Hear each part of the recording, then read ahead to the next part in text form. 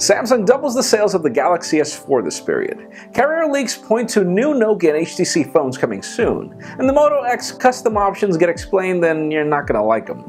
I'm Jaime Rivera, and think of the Moto X as the new male Barbie where you're gonna be able to dress it up and just about everything. This is Pocketnow Daily.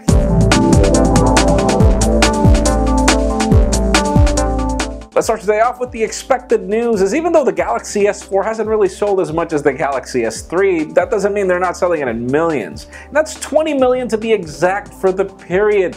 Obviously Samsung CEO will come on record with a press release and all the official statements coming soon, but still, raise your hand in the comments how many of you got a Galaxy S4? So more leaks of LG's new flagship have emerged and apparently it won't be called the Optimus G2, just the G2. And it seems that among the enhancements, well, we saw that the back buttons, you know, those volume rockers were at the back. Well, apparently every button will be at the back and it's hard to know why. Could it be that this phone is going to be so thin that the buttons don't fit anywhere but on the back? Hmm, stay tuned, we'll see.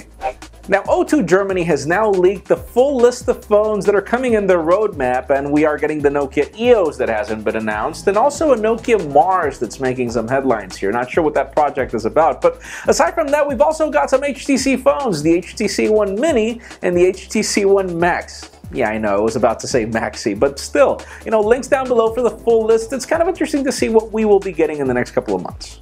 And speaking of the HTC One Mini, we've got a full gallery of photos of this phone that's coming up being compared to the HTC One. And as you'll notice, well, the buttons are a little bit different, but other than that, the phone looks exactly like an HTC One, only smaller. But you'll notice in the photos that it's not really that much smaller. So it begs to wonder if you guys are going to prefer the smaller version or the normal version if they're not really going to be very different except for the specs. And finally, for the sad and disappointing news of the day, well, Motorola has kind of explained what to expect with these customizations that we're going to get in the Moto X.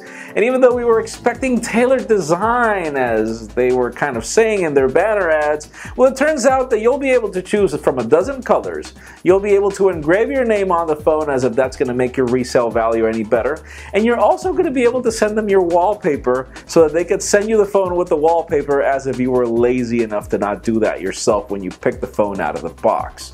It's extremely disappointing for Motorola to be, you know, marketing something that's not really revolutionary unless you tell me otherwise.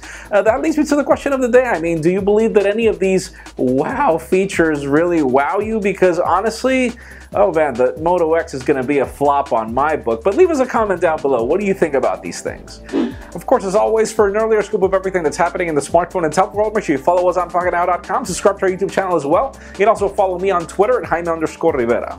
Please give this video a thumbs up if you like what you saw. I am Jaime Rivera. Thank you very much for watching. See you tomorrow.